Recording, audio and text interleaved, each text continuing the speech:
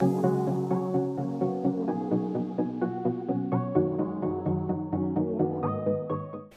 Bloos! Today I'm opening up some blind boxes from my childhood. So this is a very nostalgic blind box opening for me as we have items from Animal Crossing, which I played a lot as a kid.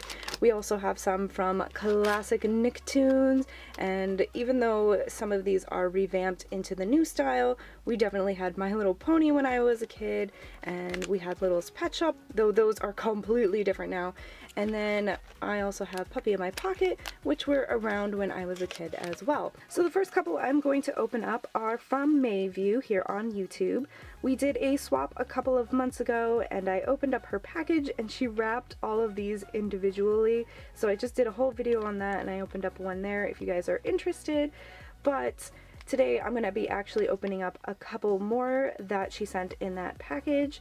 So the first one is from the Littlest Pet Shops. I've never opened up any of these before so I'm not sure if these are all of the choices that you can get because it does say numbers 93 through 116 and we're only showing 8 here and there is like 23 or so in between that number 23 25 maybe if you count the actual numbers i'm not quite sure math this morning is eluding me. Or you can look here and it says collect all 24 pets. So there's probably 24 different varieties that you can get.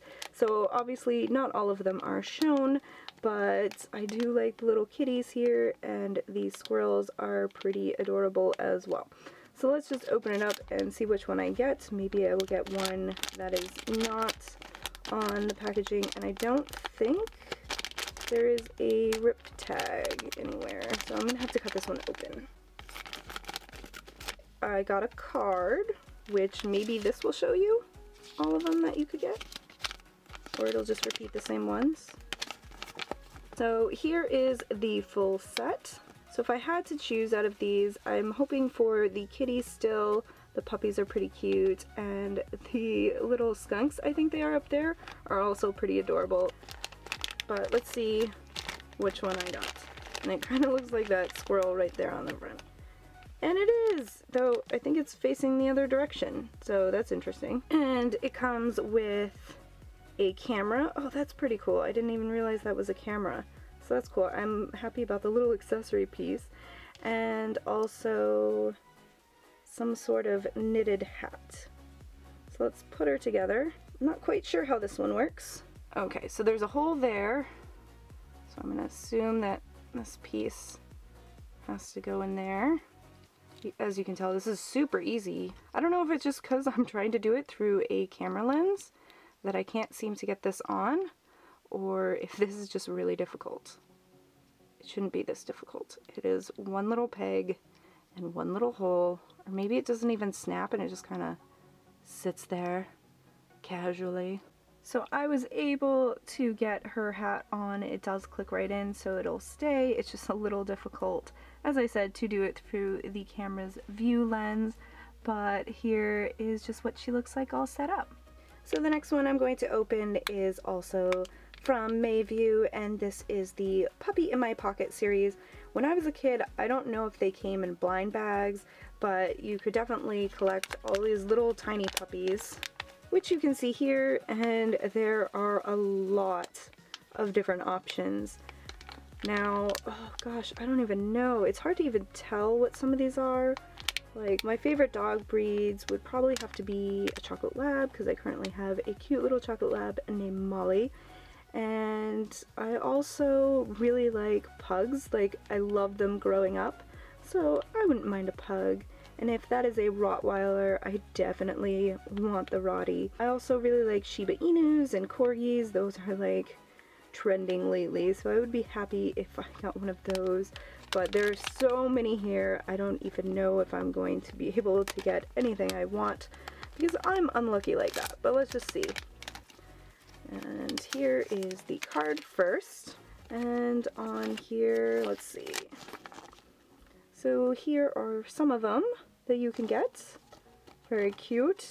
Um, are those the only options? Oh no, there's definitely more on the back. Were these like special or anything? Exclusive pups. And then we have all of the ones here that are probably more easy And so far I'm not really seeing any dogs that were on my top list. Ooh, rare pups. Alright. Oh, an ultra rare Jazzy. Well, we'll see which one I get. Oh, oh, they're so soft.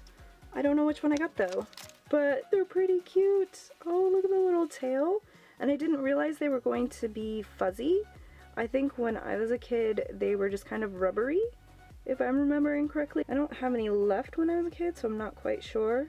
But I also think their eyes have been updated. I don't quite remember such realistic looking eyes. So it looks like I got one of the regular ones, and it is Digby, a Parson Russell Terrier.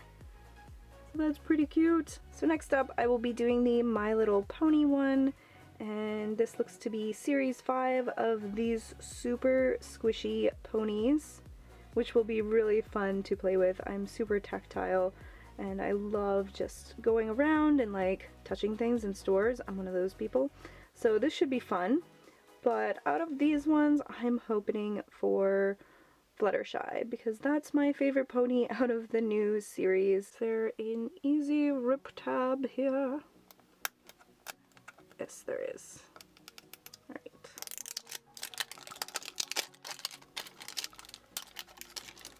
Of course, I make it the most complicated it could possibly be. Alright, so let's see. Which one did I get? Oh my gosh! Wait, no, it's not Fluttershy. Oh, I was kind of hoping that it was, but it was just a little bit off because it's orangey instead of yellowish. But it has a diamond cutie mark. So that is definitely not Fluttershy. It's not the best quality because I feel like there's a little bit of loose pieces here of just kind of this rubbery stuff. So kind of probably squeezed out of the mold but it's still pretty cute and it's just super squishy. It's like a stress ball. I guess you could use it for if you really wanted to. Come and ride my pony. Okay, that's gross. Why did I do that? I don't know. And the next blind bag that I have is of Nicktoons and they are little keyring figures and I am super super excited to open this up. I hope I get one of my favorite characters. I grew up on Nicktoons, as I'm sure many of you did.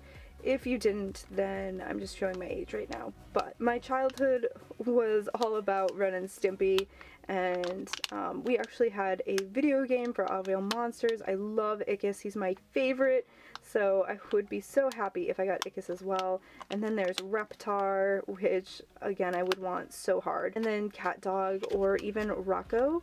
I know Dan would love Arnold, and I mean, Chucky, I, I, he's one of my least favorite out of this pack. I loved Rugrats growing up, but I would so much rather for a different character. And then SpongeBob kind of came out when I was getting a little older, and I did watch it all the time, but it just does not have as much meaning for me as the other shows.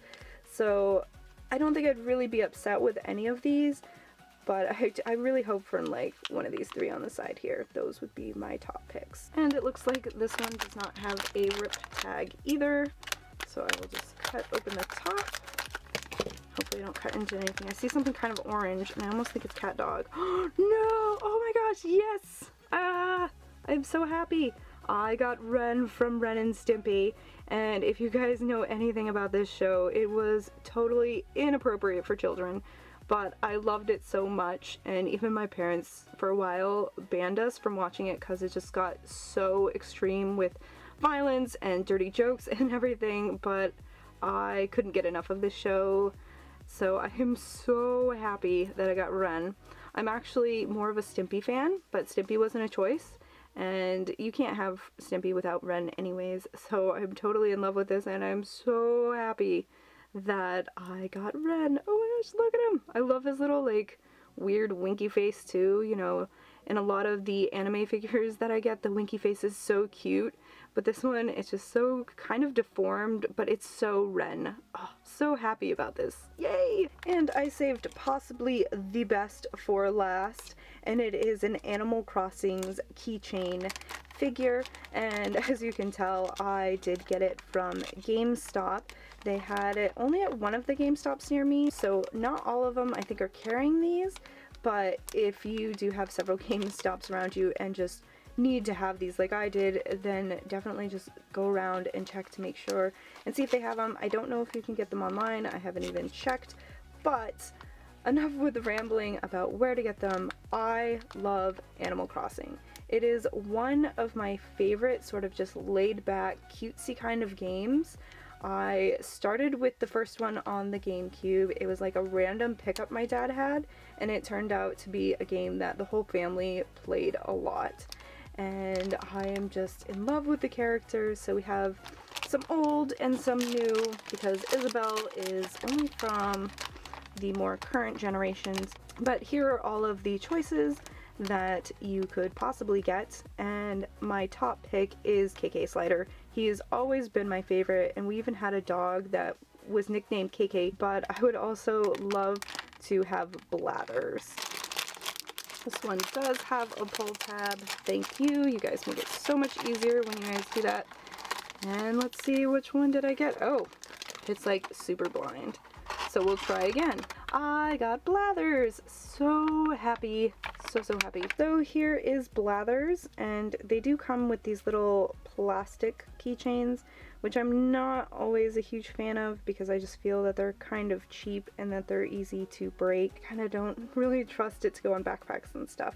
But the figure itself is really nice. Like it's got a little bit of weight to it. It is all plastic, but it's a really nice strong plastic. These little pieces are a little bit bendy, but the wing doesn't really bend at all. So it's a nice sturdy piece. And the paint job on this as well is also really nice. Totally worth the $6 that I paid for it.